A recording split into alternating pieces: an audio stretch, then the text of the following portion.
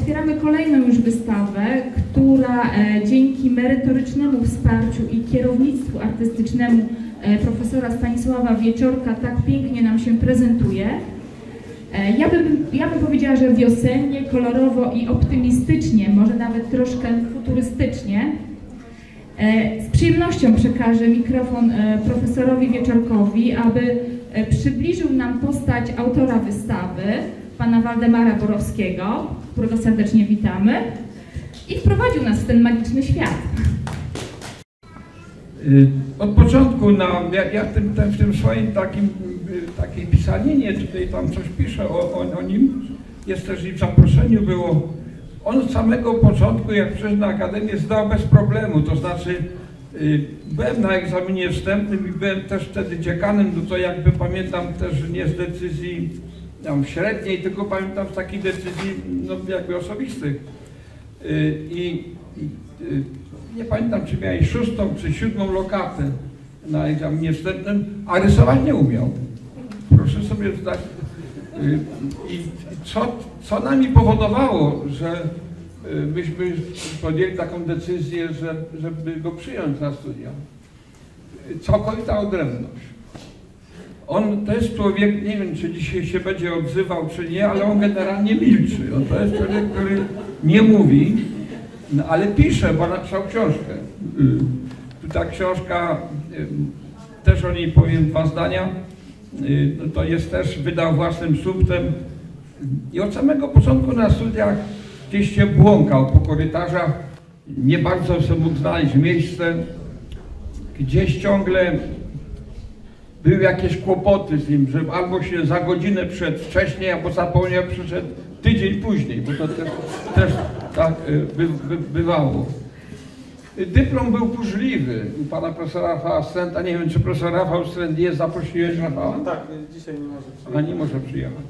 Profesor Rafał Stręt prowadził, no to taka oso, osobowość, też miał wystawę, y, też taka osobowość ciekawa, mm, y, grafik i malarz, teraz maluje na starość. I u Rafała dyplom był burzliwy, bo no cóż Waldek zrobił? Zrobił grafiki, które mówiły, że najważniejszą rzeczą na świecie to są grzyby.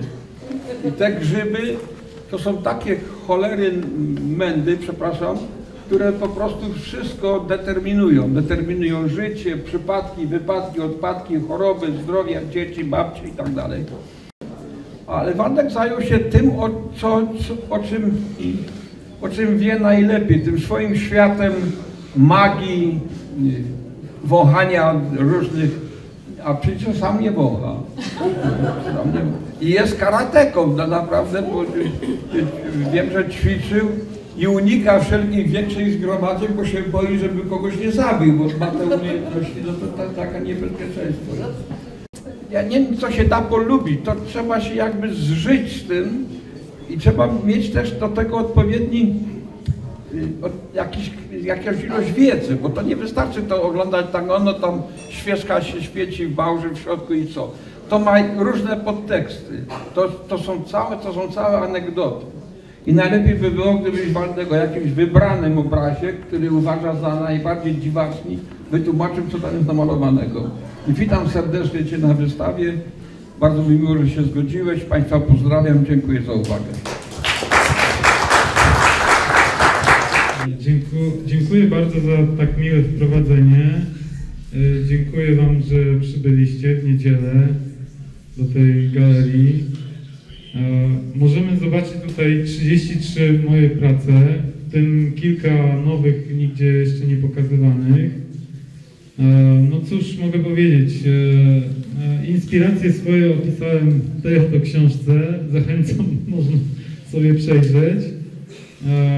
Mogę też coś więcej powiedzieć w kuluarach o każdym obrazie, bo one niosą w sobie dużo symboli. Ja mam też ostatnio dużo wglądów. Również inspirują mnie sny i wizje. No i wszystko to ma jakby jakąś treść, tak? E, Bardzo dużo jest tu różnych archetypów, różnych symboli z wielu kultur. No i myślę, że moja sztuka jest trochę, można powiedzieć, że trochę poza czasem, bo niektóre z tych rzeczy mogą się kojarzyć z czymś, co już było. lub też z czymś, co będzie, lub też tak nie do końca jest wiadomo, czy to jest, e, co to jest tak naprawdę. Myślę, że jest, że niesie element przyszłości w sobie. Także zapraszam do oglądania. Dziękuję bardzo za przybycie.